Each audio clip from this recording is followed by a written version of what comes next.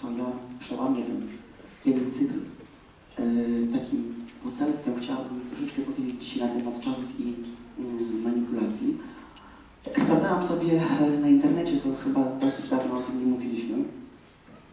Natomiast chciałbym powiedzieć o czarach działających w Kościele, dlatego że mm, różni ludzie myśląc o czarach, myślą o jakiejś takiej formie e, zewnętrznej, że gdzieś tam czary działają z zewnątrz, wiecie, i, i tak dalej, a w Kościele nie, nie działają. Nie, działają też i w Kościele, ponieważ w Kościele są żywi ludzie, a czary działają przez człowieka, nie przez jakąś tam parę, więc troszkę bym chciała o tym powiedzieć. Myślę, że szybko mi to pójdzie. Są dwa rzeczywiste królestwa i wiemy o tym. Jest to Królestwo Boże i Królestwo e, szatana. Obydwa są duchowe i obydwa są jakie? Niewidzialne, gołym okiem, ale rzeczywiste. Tak jak Boga nie widzimy swoim okiem, tak? Możemy go zobaczyć na przykład w odrodzonym, uświęconym człowieku, tak samo i możemy zobaczyć jakąś część diabła w zdemonizowanym mm, człowieku. Dla niektórych czary brzmią e, staroświecko, ale prawda jest taka, że są one bardzo rzeczywiste i niestety działają e, w Kościele. Celem czarów jest kontrola i chęć doprowadzenia drugiego człowieka do tego, aby robił to, co czarownik chce.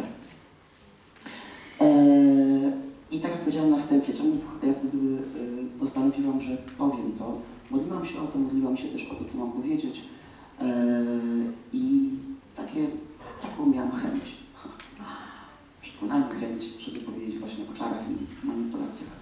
Dlatego, że Kościół absolutnie nie jest od tego wolny. Czemu? E, z uwagi na to, że ja sama e, czarowałam, zajrzymy sobie w pewne e, kwestie dzisiaj, więc dlatego postanowiłam, żeby to powiedzieć. Nie boimy się zajrzeć w jakieś takie aspekty swojej duszy, które są jeszcze zainfekowane, dlatego że Bóg nam wszystko darował. Bóg nam darował karę. Jesteśmy kochani i nie boimy się zajrzeć w jakąkolwiek sferę naszego życia, która jeszcze się okaże, że jest jakimś elementem wymiany i zmiany. Nie boimy się, wiecie o co chodzi. Człowiek, który jest dowartościowany, absolutnie e, nie boi się w ogóle spojrzeć w coś. Teraz Artur przerabia jakieś tam kwestie z naszym synem, który e, przychodzi i chce tam sobie jakiś porządek zrobić e, z głową. Wiecie, Wiktor w ogóle sobie dorósł do pewnego miejsca i sam się świetnie e, analizuje. Przychodzi, mówi tak, mam niskie poczucie własnej wartości, w ogóle chcę dobrze wyglądać, dobrze wyglądam, chodzę na siłownię, schudłem, w ogóle wizualnie fajnie wyglądam, dziewczyny mówią, że jestem fajny, w ogóle ciacho i tak dalej, ale w środku czuję się taki malutki. Ale w środku czuję się taki malutki. Natomiast generalnie z uwagi na to, że już podrósł sobie, więc jest w stanie z pewnymi prawdami się zmierzyć. Więc tak samo i my. Uważam, że już jesteśmy też w takim miejscu, że nie boi, nikt z nas nie boi się zajrzeć w jakiś taki element swojej duszy, który wymaga jeszcze naprawy. Mm, w kościele czary, ja tak to nazwałam, że to jest mistrzowskie uderzenie szatana. Jeśli udaje się w kościele wprowadzić czary, czyli jest jakiś czarownik lub grupa czarowników, to jest to mistrzowskie uderzenie szatana i wtedy można sobie robić wszystko już i tak się nic nie będzie działo, dlatego że działają czary. Opierają się innymi na legalizmie i cielesności. Dzieje się, kiedy tak się dzieje? Dzieje tak się wtedy, kiedy Kościół porzuca nadnaturalną łaskę i moc Ducha Świętego i próbuje stworzyć kogoś o własnych siłach. Rozumiecie? Dzieje się tak wtedy, kiedy Kościół porzuca nadnaturalną łaskę i moc Ducha Świętego i próbuje stworzyć ludzi o własnych siłach. Traktując ludzi, którzy są w Kościele, jakby nie mieli czego, mózgów. I to nam w ogóle pokazuje religia, prawda? Że są takie kościoły, w których poznanie prawdy ma tylko pastor, a wszyscy inni nie. I tam generalnie działają czary. Natomiast z uwagi też na to, że będę mówiła różne rzeczy, mam taką prośbę, żebyśmy mieli tą też tendencję e, obiektywizmu w sobie i nie patrzyli tylko tam, tylko patrzyli też w siebie. Żeby każdy w siebie umiał zajrzeć i każdy odpowiednio podszedł do tego poselstwa. I jeśli zobaczysz w sobie czary i manipulacje, to zdecyduj się, że w ogóle bierzesz to coś na tak zwany warsztat, jak my to mówimy, tak? I eliminujesz to ze swojego życia. Może będziesz się bał tego zrobić, ponieważ może to się stało częścią Twojego charakteru. Inaczej nie potrafisz, nie potrafisz mieć innych relacji, jak tylko relacje zaczarowane. Ale chcę Ci powiedzieć, że nie bój się tego. Przełam to i wejdziesz w zupełnie inny system funkcjonowania. A więc z uwagi na to, że Kościół porzuca łaskę i moc Ducha Świętego, działa o własnych siłach, a ludzie, którzy siedzą e, w ławkach, są tak zwanymi bezmózgowymi istotami. Mm, Czym bliżej przyjścia Jezusa Chrystusa, tym bardziej antychryst próbuje zasiąść zamiast Jezusa. Celem antychrysta jest ustanowić się zamiast Jezusa.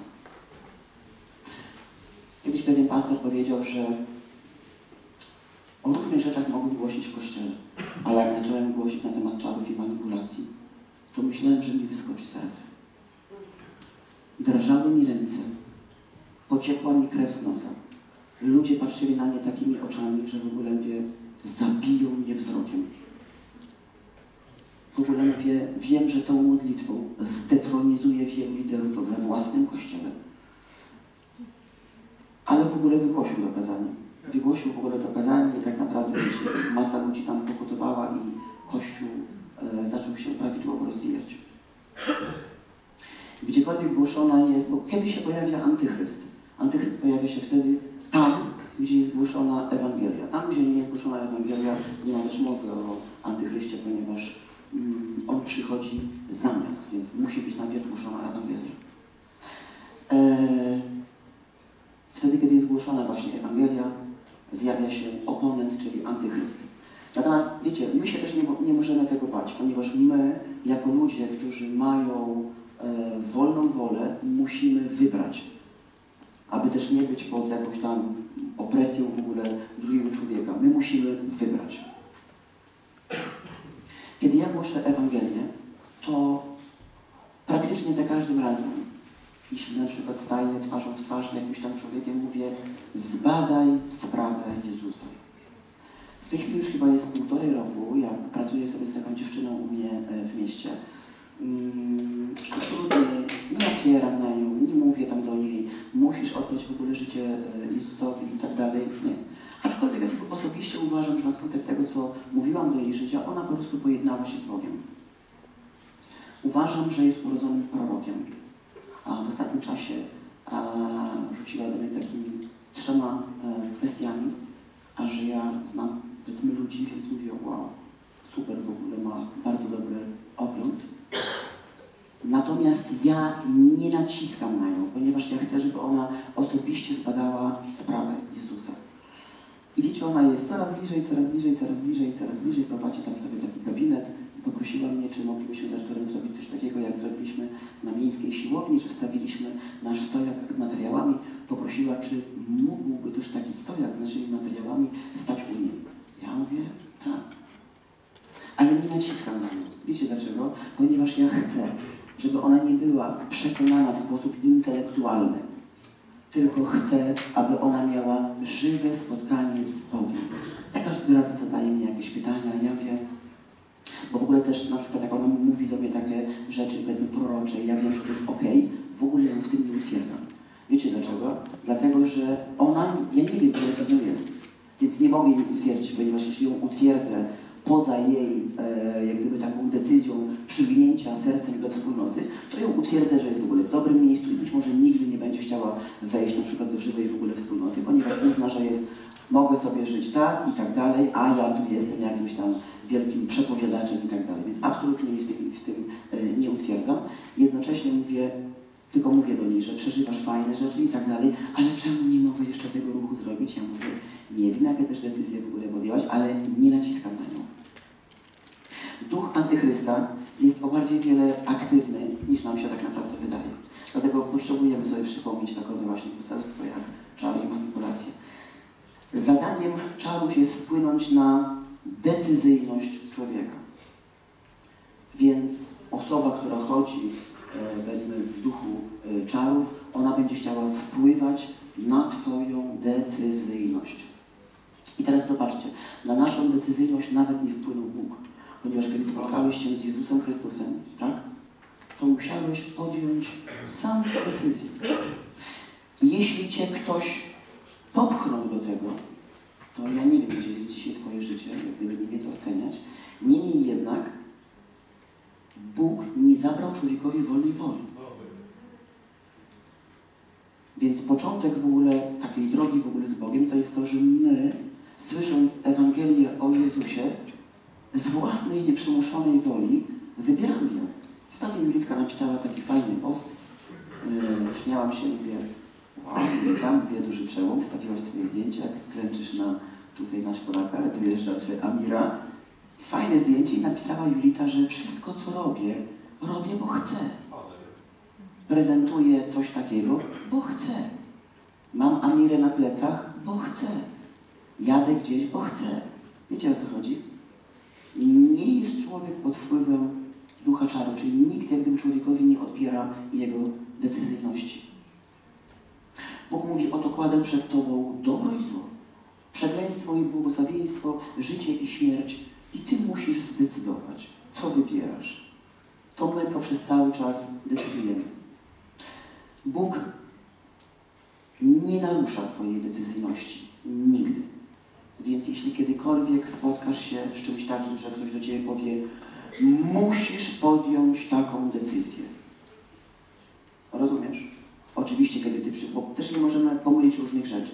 Jeśli jesteś pod autorytetem Bożego człowieka i przyszedłeś do Niego, aby On Cię trenował, to wtedy Go słuchasz.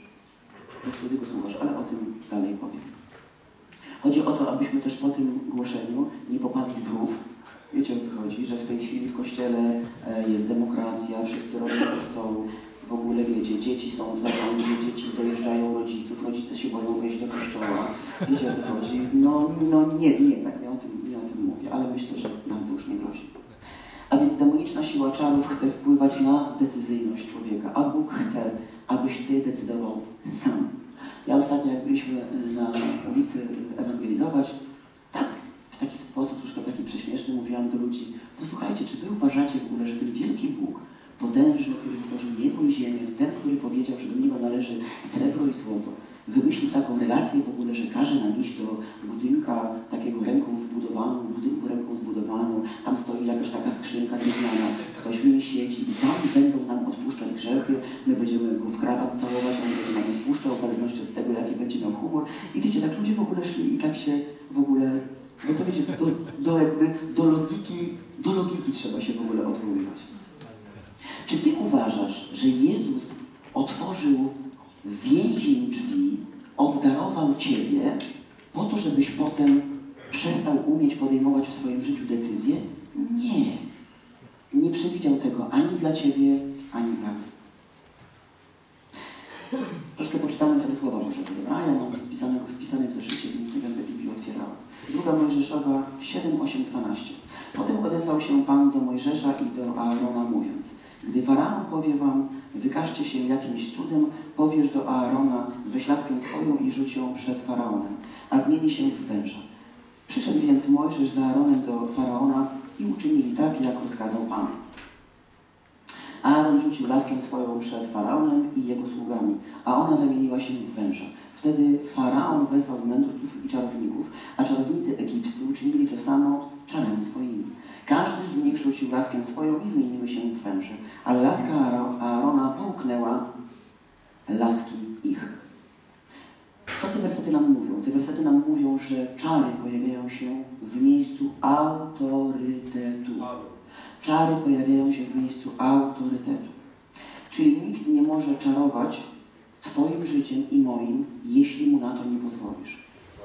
Czary pojawiają się w miejscu autorytetu, ale nikt nie może czarować Twoim i moim życiem, jeśli mu na to nie pozwolisz. Czary działają wtedy, kiedy my na te czary pozwalamy. A więc najwięcej czarowników jest gdzie? Wśród ludzi zarządzających. Wśród polityków, pastorów, księży, liderów, pracodawców, rodziców. Wszystkich tych ludzi, którzy zarządzają. Tam jest najwięcej czarów. Podam Wam taki przykład. On mnie kiedyś mocno mm, zaskoczył mnie w ogóle, kurczę, jak to jest możliwe, że w przebudzeniowym e, kościele, nie będę mówiła jego miejsca, ale w takim bardzo dużym kościele, e, my akurat nie mieliśmy z nim jakby bezpośrednio nic do, e, do czynienia. E, nie było to w ogóle w Polsce. Bardzo duży kościół i pastor sypiał z większością zborowniczek w kościele. Kurczę, ja to w ogóle jak się temu potem przyglądałam. Nieraz w ogóle gadaliśmy za chwilę.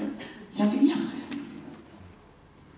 Jak to jest w ogóle możliwe, że w ogóle pastor przebudzeniowego w ogóle kościoła, w którym działy się znaki i cuda, powiem więcej, mocno wpływali na politykę. Ponieważ tam w tym kościele premierem, jakby pre, premier w ogóle tej, tego kraju był w ogóle w tym kościele. I potem generalnie jak w kościele zaczynają być jakieś w ogóle rozjazdy i tak dalej, i tak dalej, i tak dalej, na jaw wychodzą takie rzeczy, że w ogóle pastor sypiał z wieloma zborowniczkami. Wiecie o co chodzi? On w miejscu autorytetu, tak? No ale te kobiety o co kama? Musiało im się to co? Podobać. Musiało im się to podobać. Może były niespełnione seksualnie, może nie miały fajnych mężów, albo w ogóle nie miały mężów, wiecie o co chodzi. Czyli zobaczcie, w ogóle czary mogą się w ogóle manifestować, tak? I generalnie mogą się dziać co? Znaki i cuda, ponieważ dary i powołania są nieodwołalne. Po prostu czarownik trafił na podatny grunt. Czary wywierają wpływ. Nie ma czarów bez wpływu. Oczywiście mogą być jakieś takie pomniejsze, nie? Bo to generalnie wszyscy sobą mogą czarować. Dzieci mogą czarować rodzicami, rodzice dziećmi i tak. Jeżeli nie jesteś pod autorytetem Ducha Świętego, jesteś pod jakimś innym autorytetem. Wiecie, naszym zadaniem, jak gdyby też w Kościele, moim jak gdyby też, bardzo chcę, abyśmy byli ludźmi świadomymi, abyśmy byli ludźmi, którzy e, potrafią rozróżniać między królestwem szatana, a królestwem Boga żywego. Żebyśmy nie dali się wkręcać w różnego rodzaju dziwne rzeczy. I teraz podam kilka takich przykładów, co to znaczy mm, być pod, bo w ogóle nie ma czegoś takiego, że nie jesteśmy pod jakimś autorytetem. To w ogóle to tak nie działa. Jeśli nie wierzymy jakimś prawdom Bożym, to wierzymy jakimś innym prawdom. Zgadzacie się z tym? Jeśli nie wierzymy prawdom Bożym, to wierzymy jakimś innym prawdom. Jeśli na przykład ludzie wierzący nie wierzą, że dzisiaj są apostołowie, że dzisiaj w ogóle e, pięcioraka służba może działać w Kościele, to wierzą w coś innego. Wierzą w coś innego. Jeśli ludzie nie wierzą, że Bóg dzisiaj uwalnia, że Bóg dzisiaj uzdrawia, to wierzą w coś innego. W jaką prawdę wierzą? W jakąś prawdę antychrystyczną. Nie jest to prawda e, Boża. Są zaczarowani? Są. Między innymi manifestem czarów jest bezdzietność. Więc jeśli ludzie są pod wpływem czarów, są bezdzietni. Duchowo są bezdzietni. Z ich życia nie wypływa nic dobrego. Ostatnio rozmawiałam z taką kobietą, ona mm, właśnie między innymi mówiłam do niej, że jesteś pod wpływem czarów swojego męża. Jak to? Ale to jest moja głowa. Ja mówię, mhm. Mąż jest głową swojej żony, ale głową twoją duchową nie jest twój mąż. Głową twoją duchową jest Jezus Chrystus. Twój mąż pije, ćpa, nie pozwala ci chodzić do kościoła i ty do mnie mówisz, jesteś posłuszna swojemu mężowi. Masz być po- posłuszna swojemu mężowi, jeśli twój mąż posłuszny jest komu? Chrystusowi. A jeśli twój mąż nieposłuszny jest Chrystusowi, to co? Nie musisz okazywać mu posłuszeństwa. Nie bój się. Siadać ze swoim mężem do stołu, otwierać Biblię i mówić do niego, posłuchaj, tak mówi Słowo Boże. Nie nadwyrężaj swojego autorytetu nade mną. Jestem córką Boga żywego najpierw, a dopiero Twoją żoną. Tak mówi Słowo Boże.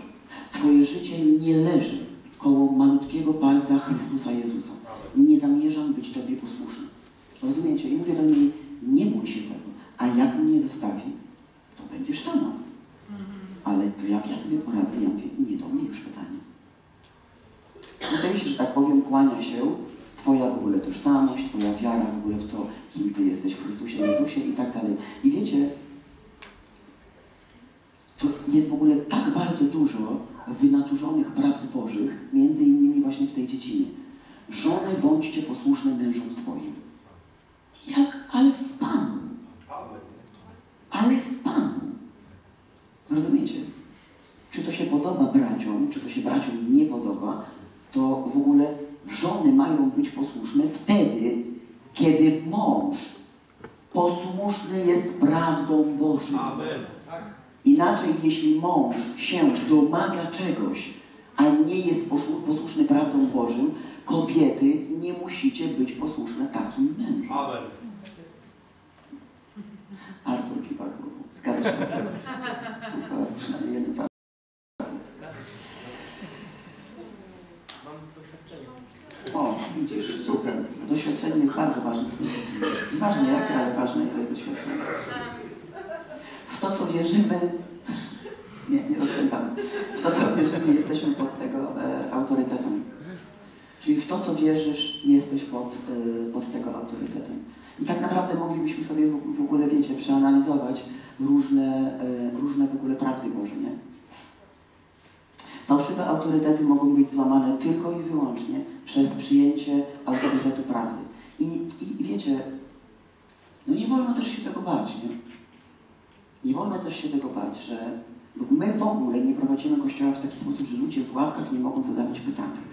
Często ludzie, e, inni usługujący, na przykład wcześniej pytali nas, no ale co, to w ogóle, to ludzie w kościele tak normalnie mogą z wami gadać? Ja wiem, no, ale dlaczego nie? Ja my przede wszystkim jesteśmy ludźmi.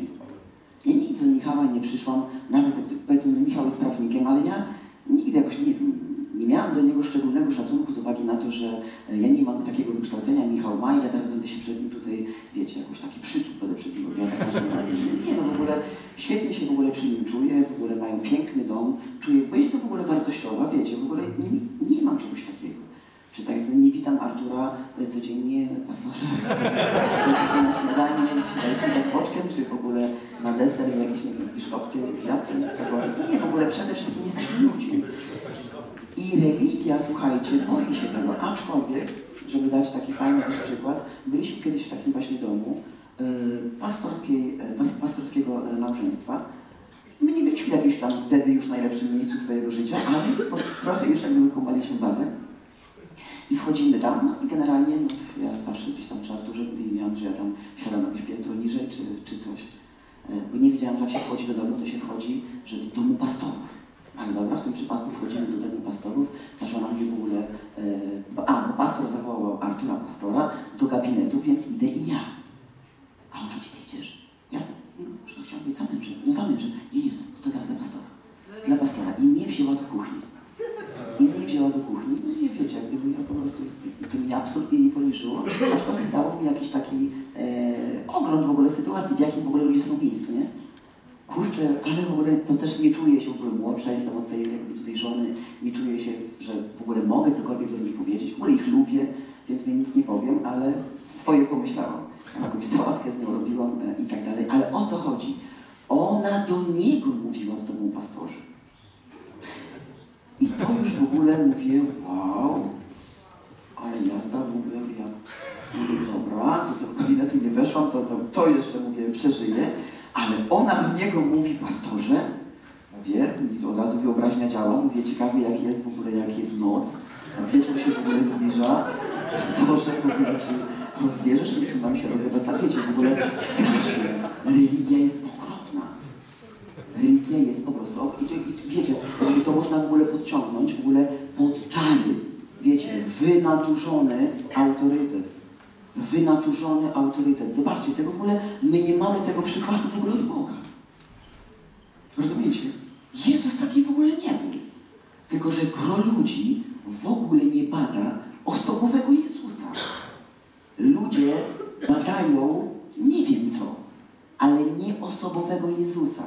Ja nie mówię tutaj, tak przytoczę jeszcze raz, nie mówię o tym, że teraz dzieci jeżdżą po łbie swoim rodzicom, ale nie wolno żadnemu urzędnikowi w ogóle Bożemu zrobić w ogóle, w ogóle wynaturzyć, wiecie o co chodzi, tego, co w ogóle Bóg dał. Urząd jest od Boga, ale nie każdy urzędnik co w ogóle piastuje, powiedzmy, dany urząd, nie?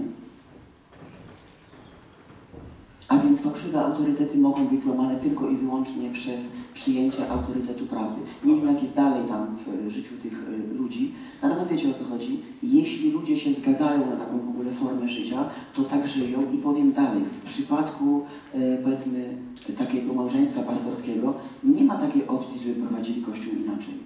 Tak prowadzą Kościół. W taki spo- sposób prowadzą Kościół i tak uczą ludzi. Czyli na pewno są oni w takim miejscu, że niekoniecznie są tacy dotykalni, może w jakiś taki enigmatyczny też sposób trzeba się z nimi w ogóle jakoś umawiać. Wiecie o co chodzi? Tak mi się przynajmniej wydaje. Trzecia Mojżeszowa 19:26. Nie będziecie jedli niczego z krwią, nie będziecie wróżyć ani czarować. Krew to dusza. W krwi e, jest dusza. Czary pochłaniają ludzką duszę. Czyli czary chcą pochłonić ludzką duszę. Wpływają na duszę, czyli na psychikę. Chrześcijanin zmanipulowany to chrześcijanin zmanipulowany na pułapie duszy. Czyli czego? Czyli umysłu, emocji i ośrodka decyzyjnego, czyli wolnej woli. Przeczytam to jeszcze raz. W ogóle jak zapisujecie sobie, to sobie zapiszcie, bo żeby też na tym sobie pracować, to fajnie, żeby to mieć. Wszędzie mam sierść, nasza słuka lenieje przy okrutnie. Czary pochłaniają ludzką duszę, wpływają na duszę, czyli na psychikę. Chrześcijanin zmanipulowany to chrześcijanin zmanipulowany na pułapie psychiki. A psychika to umysł, emocje, ośrodek decyzyjny, czyli wolna wola. Czyli czary, tak, będą chciały zawładnąć czym? Umysłem, emocjami i Twoimi decyzjami. Czary będą chciały zawładnąć umysłem, emocjami i Twoimi decyzjami. I wiecie co, bo mm, dobrze jest też patrząc na przykład na czary, spojrzeć w ogóle na taką swoją codzienność, żeby też nie doszukiwać się czarów nie wiadomo gdzie, to dobrze jest spojrzeć na swoją codzienność, na Twoje relacje z mężem, na Twoje relacje w pracy, na Twoje relacje z braćmi i z siostrami, jeśli jesteś mamą czy tam tatą, na Twoje relacje z dziećmi.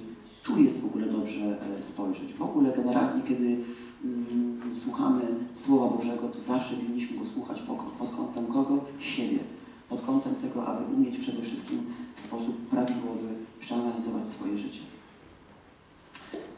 Kiedy nie masz własnego zdania, to nie jest to dobre. Wiecie, wiara absolutnie nie prowadzi nas w ślepe miejsce. Nie. Wiara jest najbardziej uargumentowana.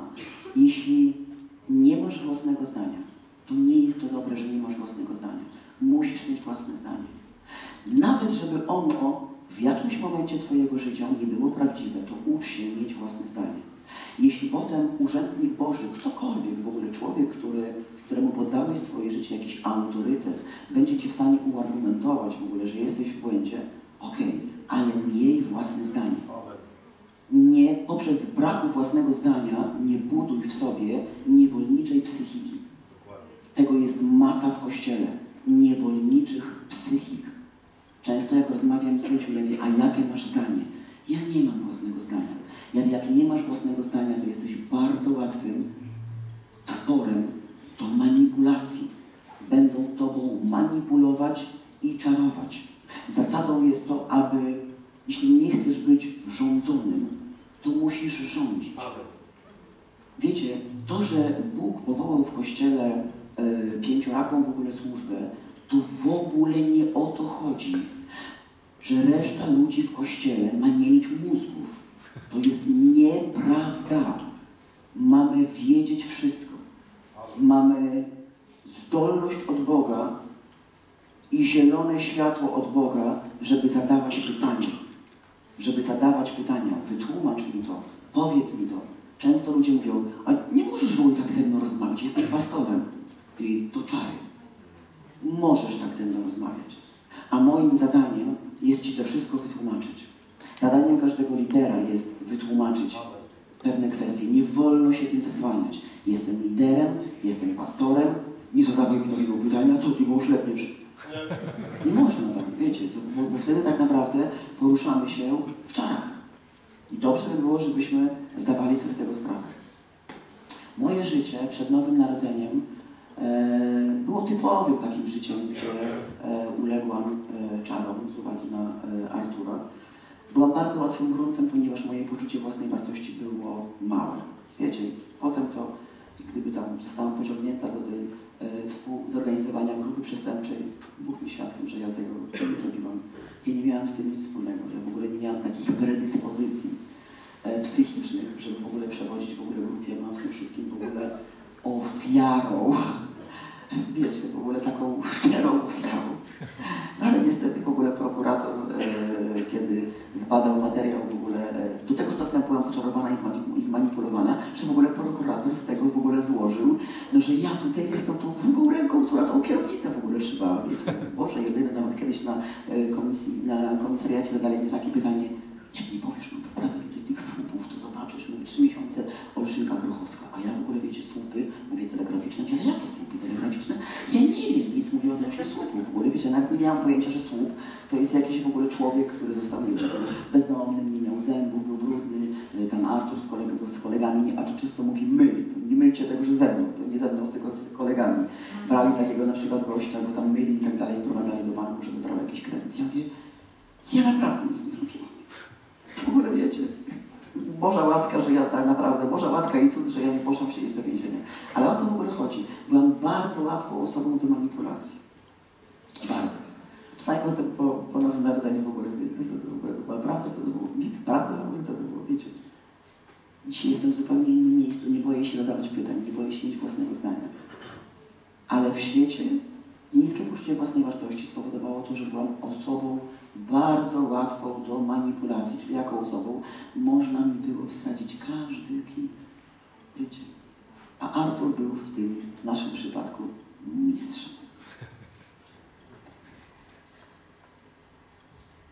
I teraz jak gdyby dam taki przykład e, właśnie odnośnie pastora, że nadwyrężony na przykład autorytet pastorski, że właśnie wszyscy, pastor mówi, że wszyscy mają go słuchać i najlepiej nie zadawać w ogóle pytań. Jaki jest efekt takiego kościoła, kiedy jak gdyby jest wynaturzony e, autorytet w ogóle pastora? Czy uważacie, że taki kościół się będzie jakoś rozwijał? Jakoś się będzie rozwijał, bo w ogóle wszystko się rozwija, tak? Kiedyś Michał powiedział, wszystko się rozwija, tylko że czasami krzywo. Więc prawda jest taka, że będzie się rozwijał, ale autorytet takiego pastora będzie nadwyrężony i będzie to wyglądało tak, jak uwielbiam to stwierdzenie, jednooki król wśród ślepców. Wiecie o co chodzi? On będzie rósł, jestem taki w ogóle tutaj najmądrzejszy, w ogóle wiesz, i tak dalej, i tak dalej, a ta masa, która siedzi na krzesełkach, niekoniecznie e, cokolwiek w ogóle może wiedzieć. I to nie jest tak, że ludzie też nie chcą wiedzieć, tylko prawda jest też taka, że, bo wiecie, ja w ogóle uważam, że te czary, już takie świadome, będące w kościele, są w ogóle gorsze. One są gorsze, to są gorsze czary, ponieważ one się dzieją w imieniu Jezusa, w autorytecie w ogóle Boga, wiecie o co chodzi. A ludzie rodzą się na nowo, mają szczere serca, chcą przyjść do kościoła, chcą, chcą, chcą być posłuszni. No nie będziesz posłuszny, nie będziesz wzrastał. Ja w ogóle mówię, żebyśmy nie wsadzili tego do pewnego rowu. Tylko chodzi o to, żebyśmy rozpoznali, gdzie są Boże autorytety, a gdzie tak naprawdę jest nadwyrężony jakiś mm, autorytet. A więc tak naprawdę macie prawo zadawać pytania, macie prawo zadawać pytania swoim pastorom, macie prawo zadawać pytania swoim liderom, a lider winien odpowiadać. Czwarta Mojżeszowa 23, 23, 24. Gdyż zaklęcie nie ma mocy nad Jakubem, ani czary nad Izraelem. Już teraz powiedzą o Jakubie i o Izraelu, czego dokonał Bóg. Oto lud, jak lwica powstaje, jak lew się podnosi. Nie spocznie, aż pożre zdobycz i krwi popitych się napije. Czary nie mają władzy nad Tobą, kiedy widzą w Tobie postawę jaką? Wojownika i autorytetu. Kiedy masz postawę wojownika i autorytetu, czary nie będą miały nad Tobą władzy. Ale nie wolno się tego bać. I absolutnie nie nawołuję nikogo do buntu, ponieważ z buntu też wychodzą czary. Nie o tym w ogóle mówię, ale pewne przestrzenie trzeba w ogóle e, w swoim życiu zobaczyć. Czy się czaruje, czy jest się pod wpływem czarów. A więc czary nie mają nad Tobą władzy wtedy, kiedy widzą w Tobie postawę wojownika i autorytetu. Czary przestają mieć wpływ e, na Twoje życie wtedy, kiedy się im, co zrobisz? Postawisz. Dam taki przykład tutaj takiej mamy, jedna kobietka. Kiedyś, e, jeszcze wiele lat temu współpracowaliśmy z takim kościołem e, na Śląsku. E, I ta babeczka kiedyś do mnie zadzwoniła i mówi, słuchaj, pomóż mi, mówi, mam 18-letniego syna, ćpa, mówi, ukradł mi dowód, wziął tam na mnie jakieś w ogóle chwilówki i tak dalej. Nie wiem, jak to jest w ogóle możliwe. No no, co mam z tym zrobić? To jest mój syn, w ogóle płacze, kocha go w ogóle e, bardzo i tak dalej. Co ja w ogóle zrobić? Mówi, manipuluje nami tutaj, miała jego syna i jeszcze taką młodszą córeczkę i mówi, kiedy wchodzi do domu jest w ogóle naćpany, mówi, no wszyscy się go boimy, mówi, no ja się w ogóle, jestem sparaliżowana, jak on korzysta z toalety. No mówi, ja się w ogóle boję, bo zwracam mu uwagę, że mnie tak e, dotyka sedesu, bo klapą w ogóle, wiesz, wali, spuszcza wodę w ogóle w taki sposób, w jaki, no po prostu szok. Ale ja się w ogóle boję do niego odezwać, boję się ja, boję się w ogóle, e, też mówi siostra jego, czyli córka moja, co ja mam w ogóle zrobić? Ja mówię, musisz się przeciwstawić.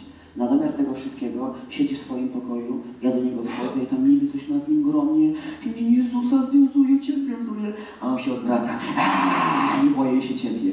Ja mówię, kurczę, w ogóle, ja mówię, no i co? Ona mówi, no to co ja mam zrobić? Jak on na mnie ryknie, to ja się w ogóle tak boję. Ja mówię, no i tu jest problem. I tu jest pies pogrzebany. Mówię, ty się go boisz. On na ciebie ryczy i ty się go boisz. Ryknij na niego. Wsadź mu kubeł na łeb. Kup taki kubeł, kubeł w żelaznym sklepie. Nalej tam wody. Wsadź mu ten kubeł na łeb. Przypieprz mu jakąś pałą i powiedz won z mojego domu. Bo wiecie o co ona w ogóle chciała? Ona w ogóle chciała, żebym ja się z nią zgodziła mm, w modlitwie, żeby się o niego w ogóle modlić i tak dalej. Ja mówię, będziemy się modliły wtedy, kiedy wyjdziesz z tej formy kompromisu. Wiesz o co chodzi? Jesteś pod jego czarami, ale on taki nie jest, ja wie, wiem, ale ćpa. I ma zaburzoną tolerancję. Nie bierzemy go w ogóle pod uwagę. Wiesz o co chodzi? To jest pacjent zdemonizowany, chory, kubeł na łeb, przywal mu, mówię, nic mu się nie stanie. Ale ja się boję, bo teraz będzie zima, będzie ćpał, ja wiem. Ćpun to egoista w ogóle, uspokój się, mówię, nic mu się nie stanie, mówię, daj spokój. Posłuchajcie, z uwagi na to, że trudno jej było tą decyzję w ogóle podjąć, przez jakiś tam czas było liczenie owiec i tak dalej, tak jakby w ogóle po temacie, nie? Ale w pewnym momencie mówi, dzwoni do mnie, mówi, jest w ogóle przełom, mówi, słuchaj, jaka była jazda, już mówi, tak mnie nastraszył, że w ogóle pierwszy, mówi, tak mnie już nastraszył, że ja z domu się w ogóle boję wyjść. Zadzwoniła na policję. Zadzwoniła na policję, on wskoczył do łazienki, zatrzasnął się w ogóle w kiblu, z nie chce wyjść. Policja przyjeżdża, szarpią za drzwi, on bluźni. Straszny jest w domu dym. Straszny jest dym.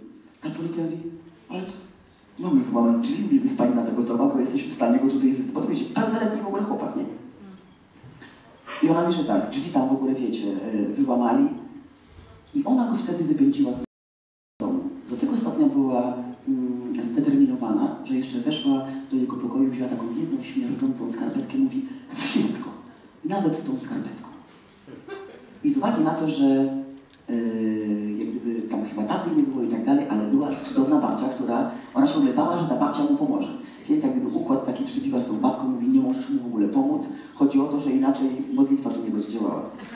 Babka go też w ogóle do domu nie, nie wpuściła i do, ja mówię, i teraz mogę się zacząć z Tobą modlić, żeby On oddał życie Jezusowi. Wiecie, ile temat trwał?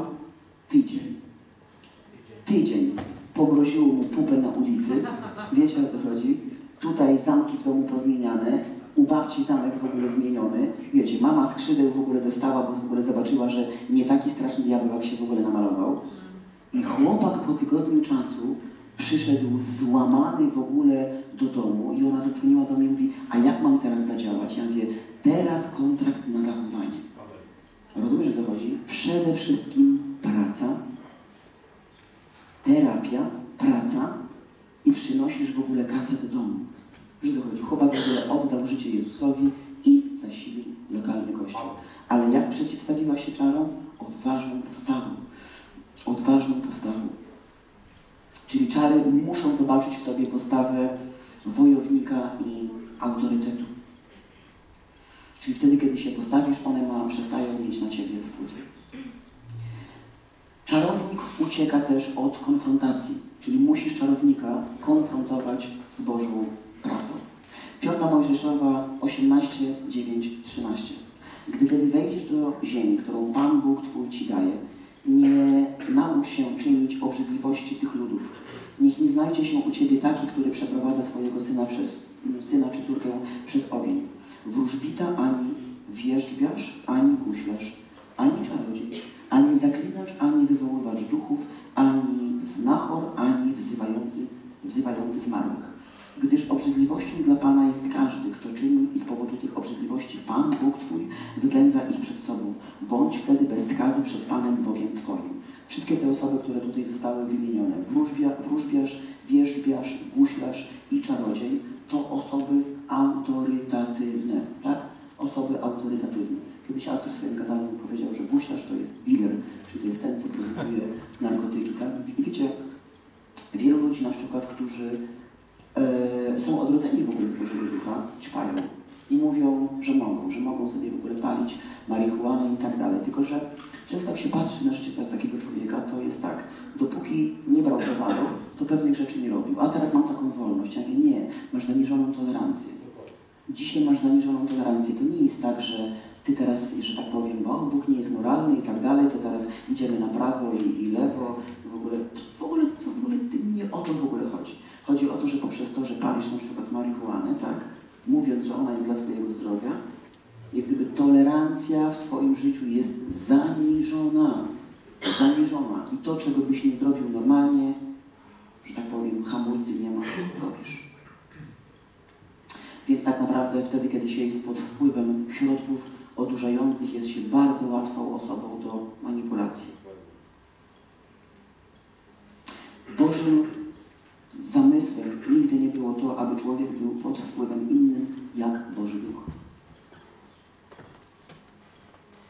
Nie było to Bożym zamysłem, aby być pod wpływem czegoś innego, jak tylko Bożego Ducha. Dlatego też autorytety w swoim życiu, co trzeba zrobić? Rozpoznać. Nie ma czegoś takiego, że autorytet do Bożego, do życia człowieka wsadza się komuś na siłę. To tak nie działa. Ponieważ jak ktoś kogoś ci wsadzi na siłę, no to wiesz, że takiej osoby słuchać co? Nie będziesz. Autorytety się wybiera. Autorytety w swoim życiu się wybiera. Teraz słyszałam, jak Artur naszemu synowi mówił, że nie jest Ci potrzebny drugi człowiek do życia, abyś był kompletny. Musisz być kompletny. Inaczej tego drugiego człowieka będziesz potrzebował do tego, aby Cię skompletował. A Ty po prostu musisz być kompletny sam w sobie. Wtedy będzie Ci dobrze. Wtedy będzie Ci dobrze z Bogiem, będzie Ci dobrze samemu ze sobą. Będziesz też umiał rozpoznać prawidłowo Boże powołanie nad Tobą. W sposób prawidłowy będziesz też je sprawował. Wiesz, co, wiecie o co chodzi? Kolejna ważna rzecz to jest to, że duch czarów związany jest z człowiekiem. Czyli co? Nie możemy tych rzeczy ze sobą rozłączyć. Czary związane są z człowiekiem, tak jak herezja związana jest z heretykiem. Czyli nie podchodzimy do, czar, do czarów w taki sposób, że to jest jakiś tam e, starodawny duch, który gdzieś w powietrzu sobie tam, wiecie, lata i tak dalej i, i on w ogóle nie oddziaływuje. Nie, w ogóle czary są związane z człowiekiem. Czyli nie, grom, nie gromimy jakiejś enigmy. Jeśli masz do czynienia w swoim życiu z czarownikiem, to nie gromisz w ogóle w swoim życiu, że przeciwstawiasz się tylko i wyłącznie czarom, tylko przeciwstawiasz się czarom, które uwalnia do Twojego życia dana osoba. Rozumiecie? To jest bardzo ważne. Przeciwstawiam się czarom, które uwalnia do mojego życia taka i taka osoba. Ona próbuje wpłynąć na moją decyzyjność, ja coś wiem innego, on mi tutaj wsadza coś innego, że tak powiem, wynaturza swój w ogóle autorytet i mówi mi, że ja tak muszę zrobić. Nie, no nieprawda. Ponieważ nie po to Jezus Chrystus wywalczył dla mnie wolność, żebym teraz co robił? Poddawał się pod panowanie innego człowieka. Pod panowanie innego człowieka poddaje się tylko i wyłącznie wtedy, kiedy rozpoznaje w nim Bożego w ogóle pomazańca. Wiecie o co chodzi? I ja widzę, że jego wpływ w moim życiu ma ręce i nogi. Że ja płodzę. Że wpływ pomazańca Bożego do mojego życia jak gdyby jest widoczny, ponieważ ja płodzę. A jeśli ja nie płodzę, to ja nie wiem. Eee, czyli związujemy e, takiego ducha, nie pomijając tej osoby. W każdego ducha uderzamy tak samo, tak, czyli tak samo uderzamy w ducha czarów, nie? Jakby duchy czarów są związane z człowiekiem. Izajasza 8:19. A gdy wam będą mówić, radźcie się, wywoływacze duchów i czarowników, którzy szepcą i mrucą, mruczą, to powiedzcie, czy lud nie ma się radzić swojego Boga? Czy ma się radzić umarłych w sprawie żywych? I teraz posłuchajcie. Czarownik chce zawsze co robić? Doradzać. Czarownik zawsze, zawsze chce doradzać. Czarownik ma to do siebie, że zawsze wie lepiej. Cokolwiek byś ty byś nie powiedział, to on wie lepiej. I tak działają systemy kościelne, o tym już lata temu mówił Derek Prince, że między innymi koś- kościoły, y, jakby systemy kościelne działają w taki sposób na doradców i radzących się. To nie jest w ogóle Boży zamiar. Bo to nie jest Boży zamiar, żeby tak naprawdę Poznanie miał tylko pastor i grupa, że tak powiem, wybranych ludzi, a reszta ludzi, żeby tak naprawdę chodziła w takim, wiecie, poczuciu, no my jesteśmy, tak jak tam kiedyś Smolin mówił, że do sklepu, tak? Do sklepu to się w ogóle wchodzi tak. Nie. Nie, my wszyscy mamy prawo do tej samej, do tego samego stołu. My wszyscy od Boga mamy prawo do tego samego stołu. Po prostu te urzędy, już w ten sposób w ogóle powiem, to po prostu jest odpowiedzialność, wiecie. To jest większa odpowiedzialność, tak. A więc nie bądź ciągle osobą, która się radzi. W jakimś etapie w ogóle Twojego życia na pewno jest taka przestrzeń, w której będziesz się radził i to jest też jak gdyby nieodzowne, tak? Ponieważ kiedy e, jesteśmy na jakimś tam etapie, powiedzmy w jakimś etapie w ogóle przejściowym, no to generalnie radzisz się, tak? Ponieważ radzisz się swojego ojca, w jaki w ogóle sposób zadziałać i tak dalej, i tak dalej, i tak dalej, ale to jest niemożliwe, żeby w taki sposób w ogóle funkcjonować cały czas, ponieważ Bożym zamysłem jest to, abyś dorósł do miejsca w ogóle synostwa i żebyś po jakimś tam okresie czasu bycia w ogóle w, w kościele był płodny, mógł w ogóle zająć się odpowiedzialnie jakąś tam sferą życia i abyś dalej przyprowadzał ludzi do Jezusa, czyli do kogo? Do siebie. Czyli do siebie, żebyś Ty był tą realną odpowiedzią, a nie tak naprawdę przyprowadzasz człowieka do kościoła i przyprowadzasz go do pastora. To jest w ogóle błąd. Kiedy przyprowadzasz człowieka do Jezusa i przyprowadzasz go w ogóle do pastora, wiecie co to jest? To my już w ogóle pokazujemy w ogóle jakąś manianę. A co to w ogóle jest? A to jest papież. Ale wiecie, spójrzcie w, w ten sposób na to. Jeśli głosisz Ewangelię, to ty bierzesz numer telefonu w ogóle do człowieka i bierzesz za niego odpowiedzialność. Nie przyprowadzasz tego człowieka do pastora. Jak my wyeliminujemy nieprawidłowości w ogóle funkcjonowania Kościoła, jeśli w takowy sposób będziemy e, jak gdyby postępować? Czyli co robisz? Czyli już w ten sposób pokazujesz, że ten pastor wie lepiej. On wie lepiej. Jeśli na skutek potem bycia w ogóle w kościele okaże się, że osoba dojdzie do jakiegoś miejsca, że w ogóle potrzebuje coś przepracować i zechce się w ogóle spotkać z fachowcem w danej dziedzinie, to tak. Ale na dzień dobry nie przyprowadzamy człowieka do pastora. W tym miejscu, w którym jesteś, jesteś w stanie tego człowieka do tego miejsca doprowadzić. Czyli nie powielamy tego takiego systemu, wiecie o co chodzi, dora, jakby do, do, doradca i radzący się. Izajasza 47:9. Spadną na ciebie te dwa nieszczęścia.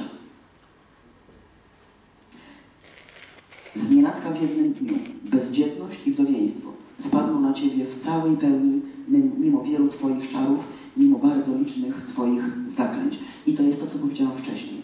Czarownicy są bezdzietni w duchu. Czarownik jest bezdzietny w duchu. Wiecie, to mnie mocno uderzyło. Bardzo. To jest bardzo konfrontujące. Pionujące i konfrontujące. Czarownicy są bezdzietni w duchu. Czyli nierozwijające się służby, możemy brać pod uwagę to, że mamy do czynienia z czym? Z czarami. Wszelkie manifesty głoszenia Ewangelii i przyprowadzania ludzi na siłę do Jezusa, mówienia musisz oddać życia, życie w ogóle Jezusowi, to nie jest, to nie jest Boży Duch. To nie jest Boży Duch. W taki sposób nie głosimy w ogóle Ewangelii. Człowiek ma wolną wolę jeśli przykropicie, że jest masa intelektualnie przyprowadzonych ludzi do Jezusa. I potem ci ludzie zajmują ławki kościelne. I potem trzeba z nimi robić warsztaty, warsztaty, warsztaty. A on po pięciu latach bycia w kościele mówi, ja nie czuję żadnej różnicy. Oddałem życie Jezusowi pięć lat temu i nie czuję żadnej różnicy. I wtedy należałoby takiemu człowiekowi w ogóle powiedzieć pełną w ogóle Ewangelię, rozumiecie? I zobaczyć, co w ogóle w jego życiu się wydarzyło. Czy on autentycznie oddał życie Jezusowi, czy został przekonany w sposób jaki? Intelektualny. Ponieważ potem trzeba robić różnego rodzaju legalistyczne przedsięwzięcia w ogóle w Kościele, żeby takich ludzi co? Utrzymać. Wtedy pod takich ludzi się głosi kazania, są ankiety. Na przykład jest ankieta w kościele. E, W tą niedzielę odpowiadamy, powiedzmy, że w kościele jest trzech pastorów i jest ankieta. Mm. A, proszę się wypowiedzieć. W przyszłą niedzielę owce by chciały, żeby który pastor głosił. I owce się wypowiadają, starsi wtedy te kartki biorą. No, Jurek będzie głosił. Dobrze, teraz będzie głosił Jurek. Kolejna ankieta jest taka. A, czy uwielbienie może być 45 minut, czy jednak 25? I znowu jest ankieta. Hmm, 25. Wiecie co chodzi? Jeśli jest masa ludzi w kościele, którym źle została głoszona w ogóle Ewangelia i nigdy nie doszło w ogóle do realnego spotkania z Bożym Duchem, no to są potem właśnie takie kościoły, tak? I potem się na przykład dziwimy, że wierząca sprawa Tomka Dorożały. Jak można pojąć i płakać chce? Abstrahując od wszystkiego, w jakim miejscu jest człowiek, który został uwolniony w ogóle od demona. W ogóle mi nie o to chodzi. Ale chodzi mi w ogóle o to, że Kościół żywego Boga podnosi w ogóle głos. Co to jest? Jak to co? To samo, co robił Jezus. Człowiek jest uwolniony od demonów. A to chyba nie fest. Ja ale to jest demon. Jak ma wyjść? Oglądałeś, mówię, Hobita. Widziałeś, jak wygląda Golum? Demony nie są ładne. I nie mówią ładnie. One są brzydkie. W brzydkich okolicznościach wchodzą i brzydko wychodzą. Coś wam powiem. Kiedyś pewien człowiek, fajny lider, szanuję go, powiedział, że jak wyszedł z niego demon, to obsrał pół pokoju. Ale jego życie jest świadectwem do tego, aby go naśladować. I on się nie wstydzi tego mówić. Czemu takie głosy się podnoszą? Bo ludzie się nie z Jezusem. Przypięli się do legalistycznego jakiegoś poczarowanego systemu w kościele. Wiecie o co chodzi? Został im nadany głos w duchu. Mówcie teraz, jakim prawem? Więc wiecie między innymi czemu nasz ruch zajmuje się tym, że my przywracamy prawdziwy kierunek duchowego głosu.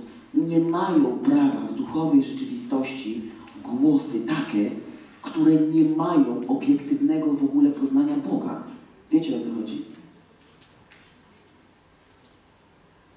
A więc czarownik jest bezdzietny w duchu. Czyli istnieje duchowa bezpłodność związana z duchem czarów i manipulacji. Czarownicy nie pozostawiają potomstwa życia, zostawiają po sobie tylko i wyłącznie śmierć. Projekty, które są zbudowane na bazie czarów i manipulacji, przynoszą co? Śmierć. Często gęsto są wydane kosmiczne w ogóle pieniądze na jakieś w ogóle projekty i tak dalej, a owoc z tego niewielki lub znikomy. Nie chcemy w Kościele, ludzie zdrowi tak są w stanie powiedzieć, że nie chcemy w Kościele pachołków intelektualnie, intele, intelektualnie przekonanych do Jezusa, a potem do ich powołań. Wiecie o co chodzi? Zobaczcie. Jeśli będziemy w sposób intelektualny przekonywać ludzi do Jezusa, to również w sposób taki będziemy ich przekonywać do ich powołań. Uwierz że ty jesteś, uwierz w to, że ty jesteś, no uwierz, no uwierz. Rok, drugi, trzeci, czwarty, piąty, uwierz. No nie mogę, no. No nie mogę, jakoś taki mam opór wewnętrzny normalnie.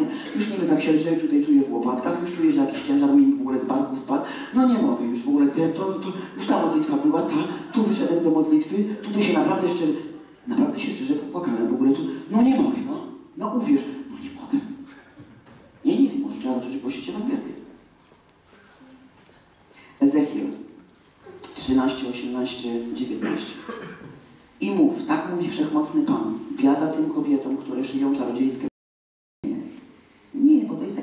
Skaza na duszy, tak? Ale w duchu jest wszystko okej.